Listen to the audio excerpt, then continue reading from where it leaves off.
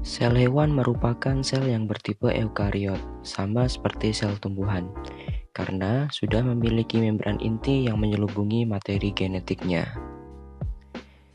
Di dalam sel hewan juga terdapat berbagai komponen-komponen sel yang mirip dengan sel tumbuhan, namun terdapat perbedaan sedikit pada komponen organel selnya, di mana komponen sel hewan terdiri atas membran sel, sitoplasma, nukleus dan organel-organel sel. Kemudian, organel-organel sel pada sel hewan terdiri atas retikulum endoplasma, ribosom, mitokondria, aparatus Golgi, lisosom, mikrofilamen, peroksisom, mikrotubulus, dan sentriol. Masing-masing komponen sel beserta organel sel memiliki fungsi dan tugas tertentu. Di antaranya adalah sebagai berikut. Yang pertama adalah membran sel, di mana membran sel ini merupakan bagian yang paling luar yang membungkus sel, di mana membran sel tersusun atas lemak atau lipid dan juga protein, dan tersusun menjadi dua lapis atau disebut juga fosfolipid bilayer. Fungsi utama dari membran sel yaitu melindungi sel, kemudian menerima rangsangan dari luar, dan mengatur keluar masuknya zat melalui suatu sistem yang disebut dengan sistem selektif permeable. Komponen sel berikutnya adalah sitoplasma, di mana sitoplasma ini merupakan cairan di dalam sel yang tersusun atas protein, mineral, enzim, dan air. Fungsi utama dari sitoplasma adalah sebagai tempat berlangsungnya metabolisme sel, seperti proses katabolisme dan anabolisme dalam sel.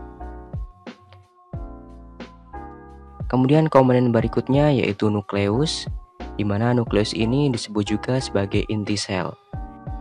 Yang mana fungsi dari inti sel adalah untuk mengatur semua aktivitas sel dengan cara memandu produksi protein. Nukleus ini atau inti sel ini memiliki tiga bagian, di antaranya adalah membran nukleus, kemudian nukleoplasma, dan nukleolus.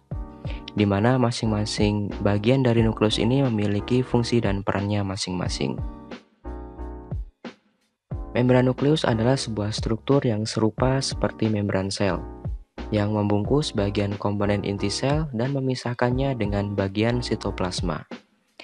Fungsi dari membran nukleus adalah sebagai pelindung inti sel atau nukleus itu sendiri dan sebagai tempat pertukaran zat antara materi inti dan sitoplasma. Kemudian nukleoplasma adalah sebuah cairan padat yang ada di dalam inti sel atau nukleus yang mengandung serat kromatin, di mana kromatin itu adalah sebuah benang-benang halus dari DNA.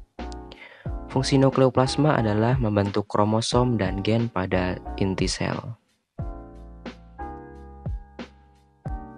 Kemudian ada bagian nukleolus yang berada di pusat dari inti sel, di mana nukleolus disebut juga sebagai anak inti, di mana nukleolus berperan dalam proses pembentukan protein yang menggunakan RNA atau disebut peristiwa translasi.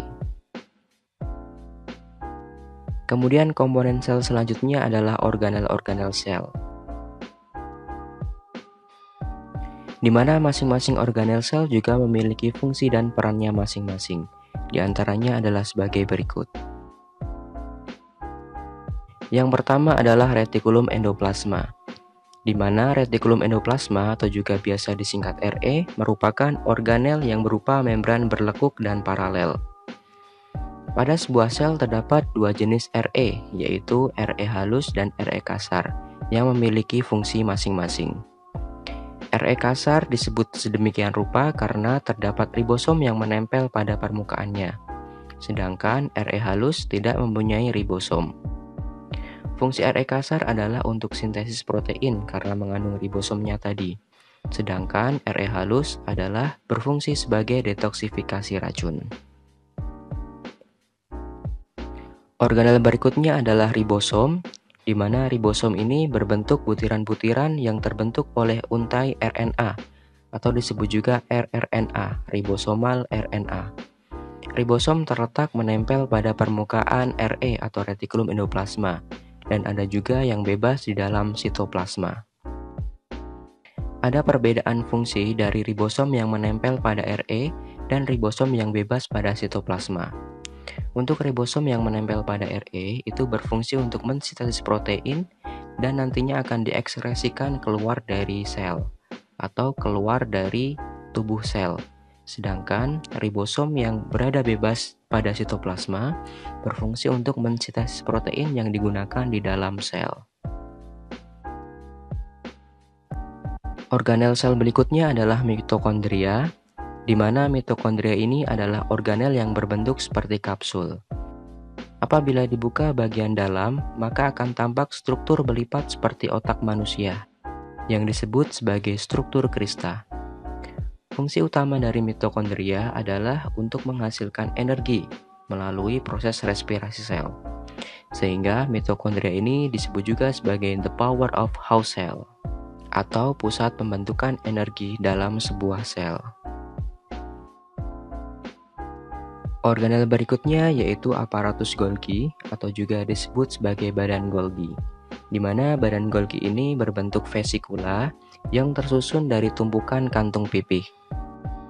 Fungsi utama dari aparatus Golgi atau badan Golgi adalah untuk membawa produk yang dihasilkan oleh RE, yaitu berupa protein. Kemudian organel berikutnya yaitu lisosom. Lisosom adalah organel yang berbentuk bulat dan dilapisi selapis membran.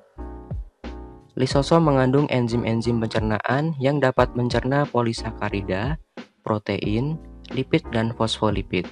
Sehingga fungsi utama dari lisosom adalah untuk mencerna komponen-komponen sel yang sudah rusak, sehingga berperan penting dalam proses kematian sel yang terkendali atau disebut juga autolisis sel.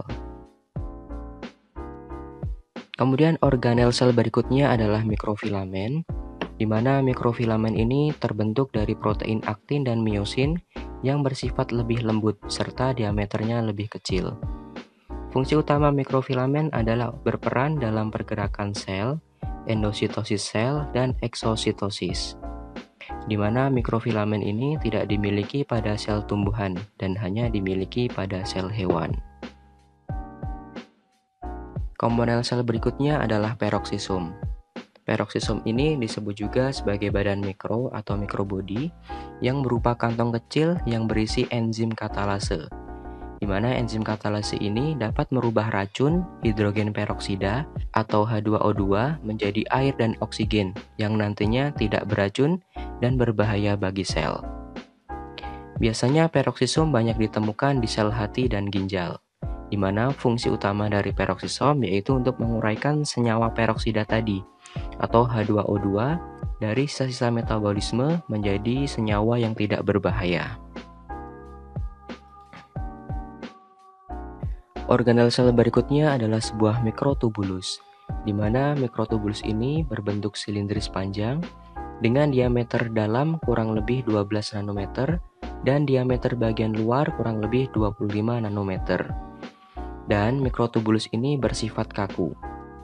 Fungsi utama dari mikrotubulus adalah untuk melindungi sel, kemudian berperan dalam pembentukan flagella, cilia, centriole, dan juga memberi bentuk pada sel. Organel sel berikutnya adalah centriole di mana sentriol ini adalah organel yang berbentuk tabung. Sentriol berfungsi sebagai proses dalam pembelahan sel yang membentuk benang-benang spindle dan berperan dalam membentuk silia dan flagella pada sebuah sel hewan. Berikut merupakan contoh gambar tiga dimensi dari sel hewan beserta dengan komponen-komponen penyusunnya di mana sel hewan ini biasanya digambarkan dengan bentuk yang asimetris karena memiliki bentuk yang beragam. Mana bentuk sel hewan akan berubah-ubah menyesuaikan dengan kondisi lingkungannya masing-masing. Demikian penjelasan singkat mengenai struktur dan fungsi dari komponen-komponen sel hewan. Semoga bermanfaat untuk menambah ilmu pengetahuan dalam bidang biologi. Jangan lupa untuk subscribe channel ini untuk mendapatkan informasi terbaru lainnya. Mas Iki di sini. Sampai berjumpa di video menarik selanjutnya.